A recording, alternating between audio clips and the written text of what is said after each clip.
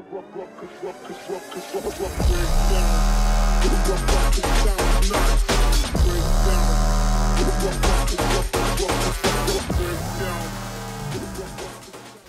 is up my boys? Welcome back to another video. And today, ang pag-uusapan natin, yung share natin yung build natin for Crusader. So this video is intended talaga para dun sa mga new players na gustong mag-Crusader or dun sa mga existing players na yung mga matagal na na gustong mag-switch para sa Crusader. So kung matagal ka ng Crusader, alam mo na tong mga bagay na to. So hindi na to magiging masyadong useful sa'yo. Pero para dun sa mga gustong mag-switch at sa bago, eto panoorin nyo to. So, yung build natin sa Crusader is pretty much uh, universal para sa lahat ng content. Pwede sa PvE, PvP, Shadow War, raids, lahat pwede. So, pakita natin kung ano yung build natin. So, unahin natin yung items. So, unang-una, best in slot na headgear without a doubt, Arrow Keeper. So, ito yung ginagamit ko kasi mix ako ng DPS at support. So, Arrow Keeper, the best to para dala-dala mo yung banner mo. So, hindi mo na kailangan na timingan yung pwesto ng kalaban, uh, kung saan hindi matamaan ng damage yung banner mo kasi dala-dala mo na yung banner mo, hindi na namamatay yung banner. So, to my in, in my opinion, best in slot.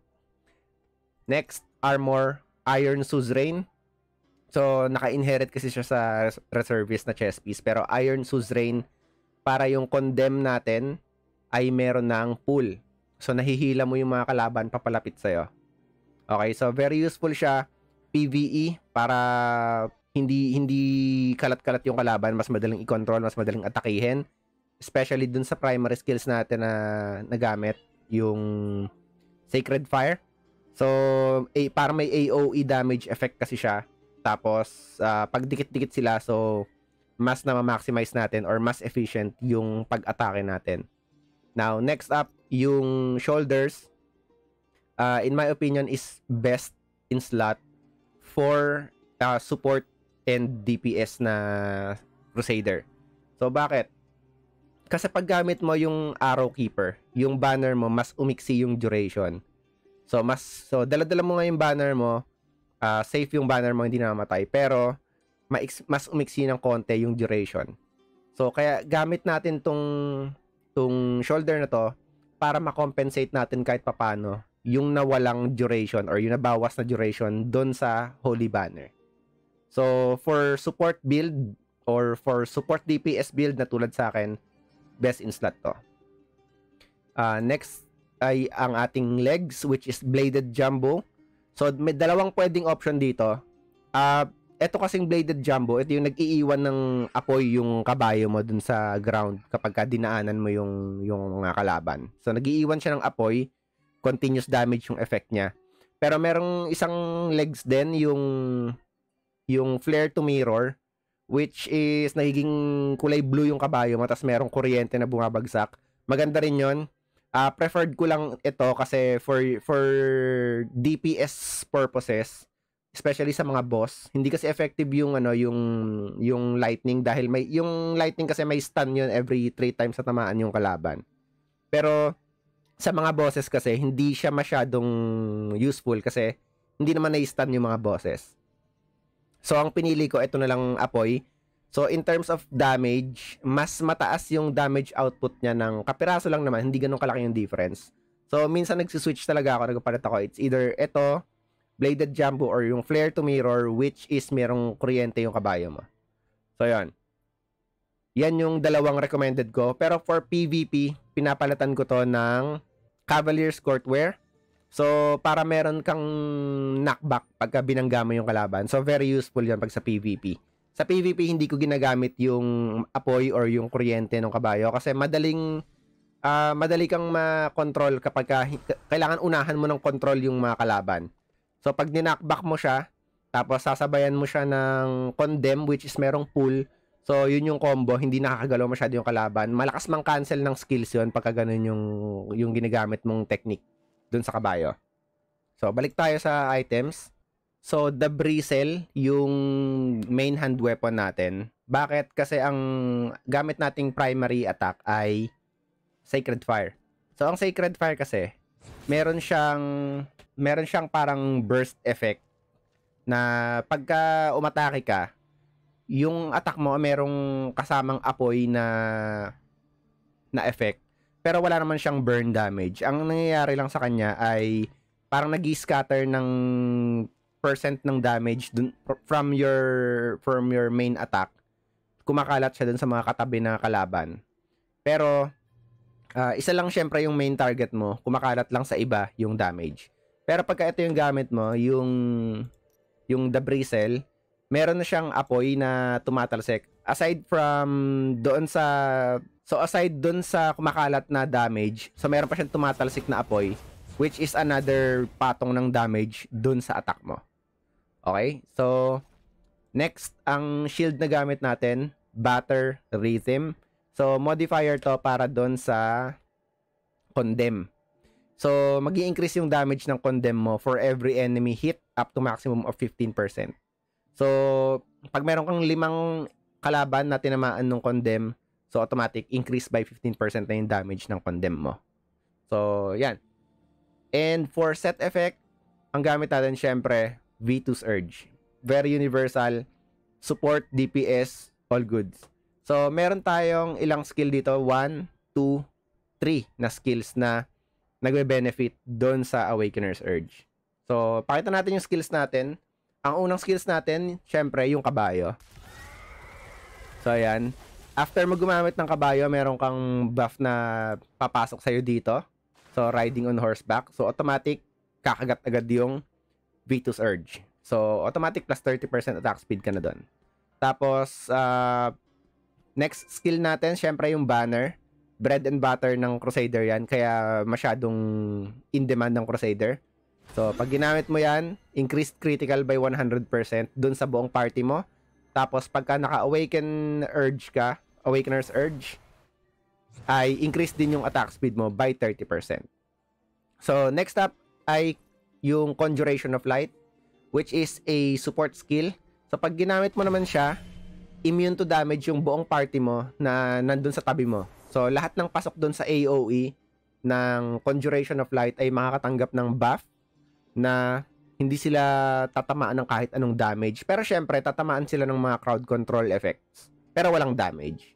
So, yun lang yung ano niya, drawback niya. Hindi niya nahaharang yung crowd control na effects. Like stun, knockback, frost, chill, ganyan. So, pumapa, pumapasok pa rin yung debuff. Pero at least wala kang damage na natanggap. And pag ginamit mo yan, mapapansin nyo dito, activated yung Awaken's Urge. So, attack speed plus 30% for the whole party yun. Ah. Lahat ng tatamaan ng buff mo na to, mayroon silang increase in attack speed. Tapos, ito yung condemn gamit natin pang pull ng kalaban.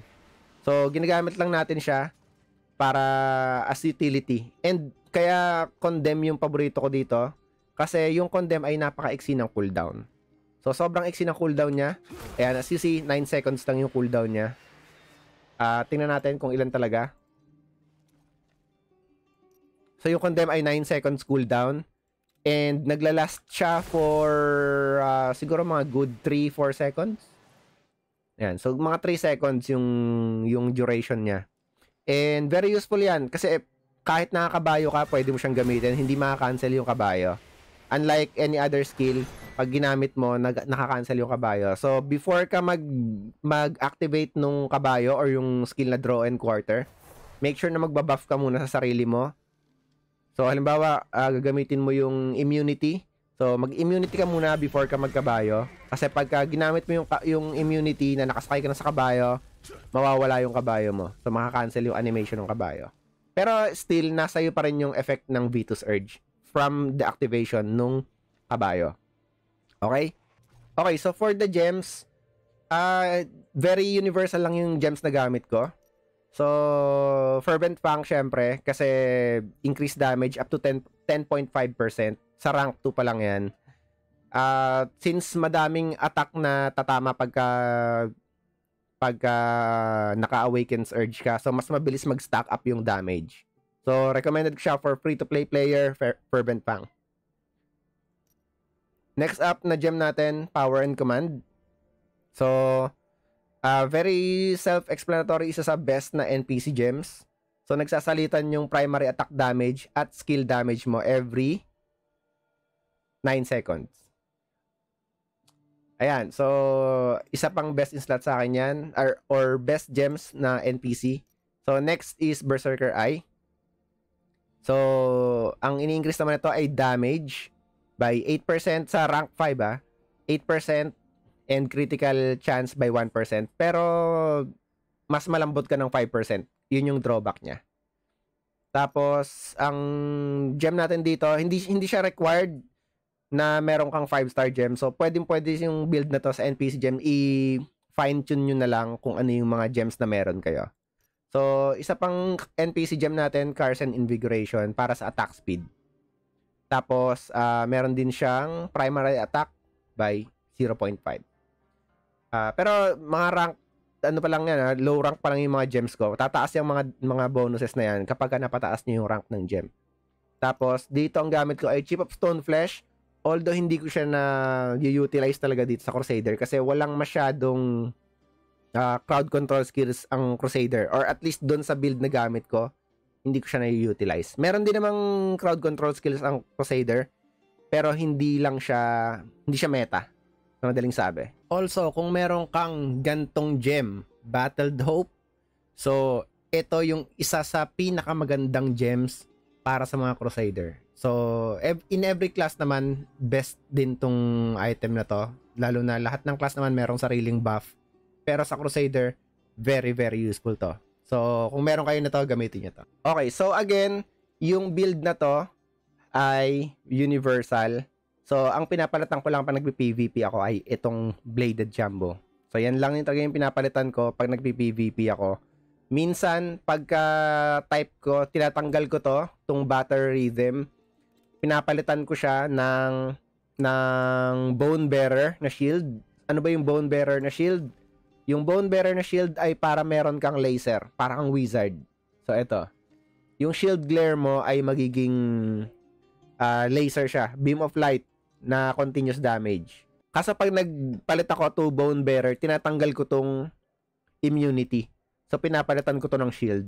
So paano yung discard ko dito? Ang ginagawa ko ay pinapalitan ko to So, lagay natin shield glare. Lagay natin dyan. Yung condemn kasi ay at in my opinion, very useful siya in any content. So, hindi ko siya mapalitan pagdating sa PvP. Kahit sa PvP, hindi ko siya inaalis. So, testing natin palitan to.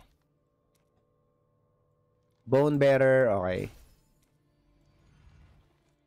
Okay, so ang discarding ginagawa ko sa PvP, so kung marami yung kalaban, hindi ako magda-dive. Ang gagawin ko ay mag medyo maggaan tayo, magkakait lang. So, magbabuff ako ng banner, tapos, yan, shield glare. So, ililay-laseran ko lang sila from malayo. And itong shield glare na to, kapag ka meron kang kaparty na wizard, or kasama na wizard, pag naglagay sila ng crystal na naghahati-hati yung yung attack nila, yung yung laser nila, pwede mo na siyang gamitin doon. Pag tinapat mo siya doon sa crystal na yun, mag-distribute din yung damage niya, mag maghahati-hati. So, kung maraming kalaban at inatake mo yung crystal, maghahati-hati sila doon. So, ganun siya gumagana, parang yung skill ng wizard. So, there you have it. Uh, unfortunately, right now, wala pang PvP, kaya hindi natin siya maide-demo sa PvP. Pero, you, you get the, the idea kung paano siya gagamitin. Pero, uh, pag nagpe-PvP ka, as Crusader, uh, please be mindful kung ano yung role mo. Especially sa mga free-to-play players. Huwag tayo basta dive ng dive. Oo, mataas ang defense ng Crusader. Unlike uh, Wizards and Demon Hunter or Necromancer. Pero still very vulnerable tayo pagdating sa damage. So, wala tayong pangharang ng mga debuff or ng mga crowd control. Unlike Monk, kaya kailangan medyo maingat tayo. Kailangan mong alamin yung timing kung kailan mo gamitin yung kabayo, kung kailan mo gamitin yung yung banner, kung kailan mo gamitin yung condemn. So wag mong wag mong i-spam ng i-spam yung mga skills mo kasi medyo mahahaba yung cooldown ng mga skills. Like yung kabayo 18 seconds or so. Yung banner ay about 24 seconds yung cooldown niya. Ito lang uh, itong skill na to wala siyang cooldown pero meron siyang charge. Nag-charge lang siya or meron siyang ginagamit na energy bago mo magamit. Tapos ito, ito medyo maiksi yung cooldown. So 9 seconds lang. Pero the rest is mahahaba yung cooldown. Kaya you have to be careful sa paggamit ng skills mo. Okay, so itong build na to ay uh, yung personal na build na nagustuhan ko. So uh, kung iba yung gameplay mo, pwede mong i-fine tune dun sa preference mo. Pero you get the idea, ito yung mga core items kung gusto mo ng halo na support DPS. So, not entirely focus on DPS, not entirely focus on support. So, you're a bit of a hybrid. So, DPS plus support.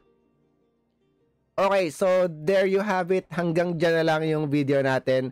And, uh, kaya i-upload ko na tong video na to kasi by next week ay mag na-transition na ako to int classes. So, we're going to dive into int classes next week most probably necromancer.